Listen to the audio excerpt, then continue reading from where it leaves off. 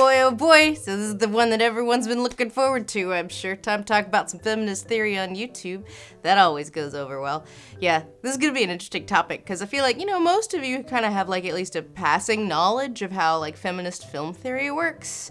And then there's the segment of the audience that thinks it's like the matriarchal tentacle of the globalist New World Order to destroy all men. so that's gonna be an interesting tightrope to walk. Glad I chose Transformers to do it. I don't play. I don't play. Play, play, I don't play. So ignoring the part where the internet has lost its mind over the last few years, feminist theory has been an integral part of critical studies for decades. And while for the sake of simplicity I would like to be able to separate feminist academia from the wide, wide world of feminist hot takes on the internet, uh, the truth is I can't because feminist academia is kind of influenced by the wide, wide world of feminist hot takes on the internet, and vice versa. Which leads to a lot of confusion, and I'm not really going to try to untangle that right now, but I see a lot of buzzwords being thrown around as sort of boogeyman with little regard to what the terms actually mean terms like feminism, postmodernism, Marxism, Freudian psychoanalysis, the Jews, and so on. But the important thing to remember about any kind of theory is that while, yeah, it usually has some kind of an agenda, it's really more about putting some element of culture within a framework, in this case a feminist theoretical framework. So the first thing to remember about feminist theory is that it doesn't really share any unifying single point of view, even the Mulveyan view that like male gaze is a thing. There's even disagreement on that. A part of the ever evolving praxis of feminist theory is the exchange of ideas, usually through essays or books, or now, video essays. I will make this a legitimate academic form alone if I have to. An essayist will present an idea, for instance, in this case. In Michael Bay movies, women are rarely depicted as being in positions of power, and when they are in positions of power, they are depicted as either being duplicitous, incompetent, or both. The writer would then use examples from the media in question and from other academics to help support their thesis. And that's how you apply feminist theory to a work or a body of work. It's that easy. Laura Mulvey's 1975 essay, Visual Pleasure and Narrative Cinema, is basically ground zero for most feminist media studies, so we'll start there. The Mulveyan view involves a theoretical combination of semiotics, Althusserian Marxism, and Lacanian psychoanalysis. I hope that clears up any confusion. Mulvey saw men as subjects identifying with agents who drive the film's narrative forward, and women as objects for masculine desire and fetishistic gazing. We'll come back to Mulvey, but consider Mulvey less a holy text so much as a jumping off point. Mulvey's essay is also where the term male gaze comes from, and uh, we'll get back to that later. In essence, the whole of feminist theory as it pertains to media studies is not to destroy all men, though that is certainly a priority, but to question the role of gender in our society and in particular the portrayal of women in media. So the rest of this 26-part series will be exploring the many nuances of postmodernist, cultural, Marxist, feminist, intersectional film theory. I'm kidding. I'm kidding! Only 23 of them will be that. Quick, define postmodernism! Yeah, me neither.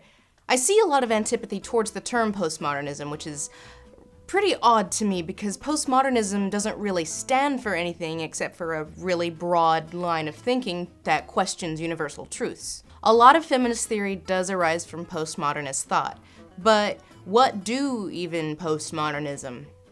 Uh? Modernism arose as a philosophical movement in the late 19th and early 20th century as a reaction to the certainty of Enlightenment thinking, especially the idea that there were universal truths. From modernism, we saw the rise of art movements like Dada, absurdism, pop art, as well as the wide rejection of religious belief. Postmodernism is an umbrella term for an incredibly broad line of thinking that I won't go into any depth with right now. You can expect a full deconstruction of postmodernism and Transformers in my upcoming 12 part series, directly beneath the enemy scrotum, coming Christmas 2019. Postmodernism is really an extension of modernism, especially as the idea of universalism came back in a big way in America in 1950s, with the rise of objectivism in writers like Ayn Rand. What up, girl? The 1950s saw a return to almost Victorian ideals of universal truths and strict societal roles, especially as it pertained to gender. So postmodernism was a reaction to that. Postmodernism questions more binarist modes of thinking favored by universalism, objectivism, and the ideas that there are universal truths that apply to everything equally always. It's that easy. Feminist theory derives from postmodernism in that early feminist theorists looked at societal ideas that were presented about the idea of gender roles and asked, but why? Why do we take for granted these ostensibly constructed absolute truths? Postmodernism rests on a rejection of objectivist thinking, especially in the humanities, and the idea that there are no universal truths.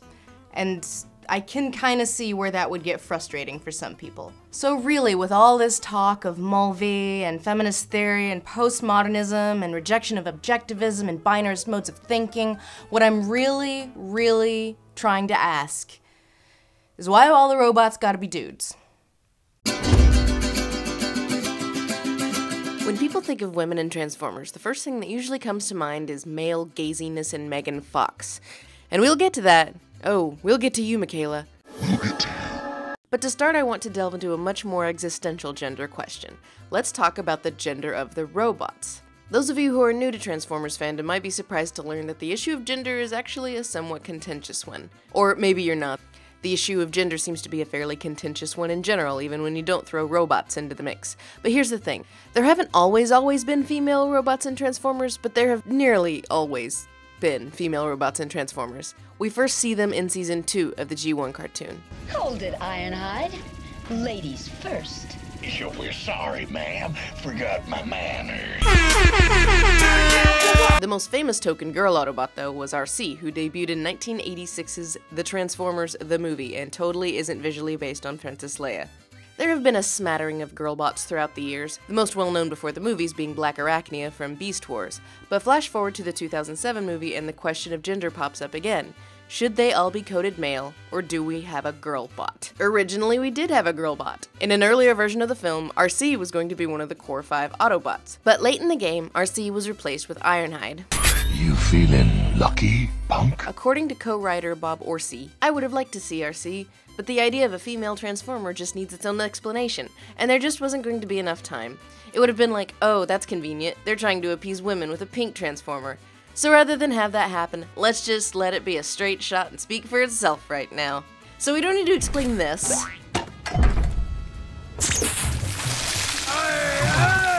Or this. What's cracking, little bitches? My first lieutenant. Designation Jazz. This looks like a cool place to kick it. But a ladybot would have made audiences go, hmm, I don't know. I mean, Megatron accidentally etching coordinates to the MacGuffin inside another MacGuffin I'll buy.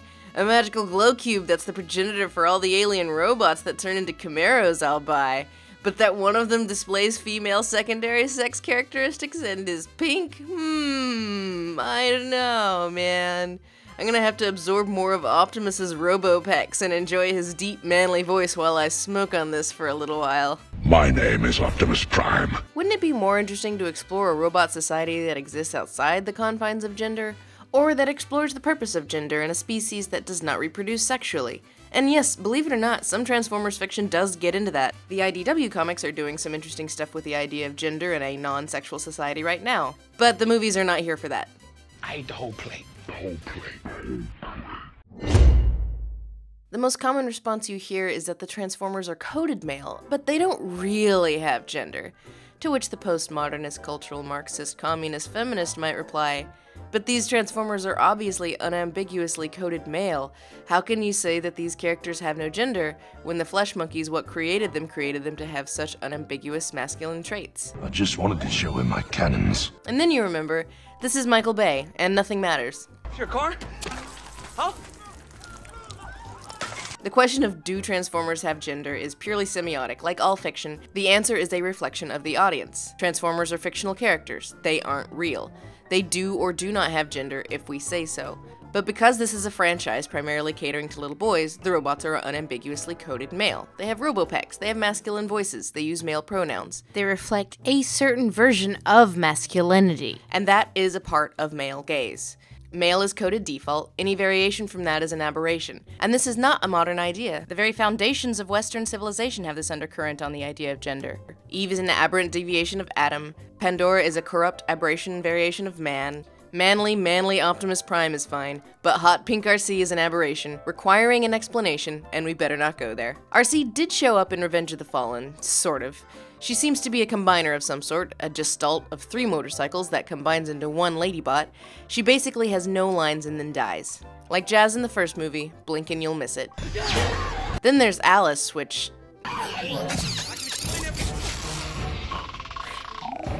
You know, sometimes I think Michael Bay has issues with women. And in the fifth movie, there's Quintessa, who's not a Transformer but is called the Deceiver. Which, okay. But Arcee is the closest we got to an actual female Transformer in the movies, and this in an era when there are actually a lot more ladyformers across all areas of Transformersdom. It's not just tokenism anymore. Often there are multiple female Transformers in the same series. But not in the movies. Boom! Hashtag justice for Arcee. Hashtag feminism. Feminine coding in these movies means you're either utterly impotent, like RC, a horrifying abomination, like Alice, or a duplicitous controller of minds like Quintessa. And we ain't even got to the human women's yet. Yeah, no, I'm cool with, uh, you know, females working on my engine. One attitude I see a lot, especially when we talk about big budget action movies and Michael Bay, is an idea that it's odd to question what we are given in our media rather than ask what brought us here in the first place. The fact that the male robots, clearly coded as male, would be accepted by the audience without question, but a female robot is regarded as aberrant and begs an explanation, makes you wonder why would the filmmakers think that? And more importantly, is that true? Critical Studies is not here to shame you for what you like, much as it apparently feels that way to some people, but rather to help give us the tools to question the media we consume and what it says about the culture that created it. Questions like why do we need to gender code a race of robot aliens in order to humanize and relate with them? But then really never go into what gender would even mean to a race of robot aliens in the first place. And we ain't even get into Megan Fox yet.